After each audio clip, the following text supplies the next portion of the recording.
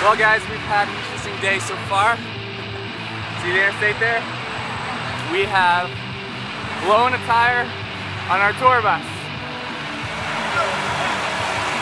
So here's Nehemiah, Ben, Bill, and Jeremy working on it. I'm also working too, but taking video as well. Ben, what happened? Well, I was driving and then all of a sudden I just went boom. Uh, uh, Right there. All right, Ben, show us what's going on with this. So I think what happened, from my wow understanding, is the sidewall's been worn out over the years and it exploded. You can see on both these sides. Boom.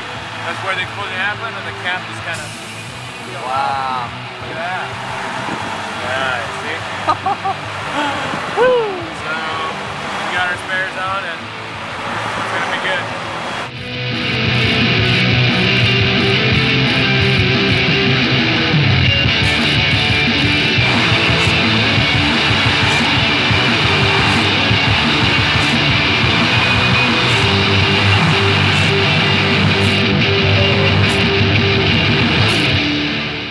It's done. We changed the tire within 10 minutes, probably.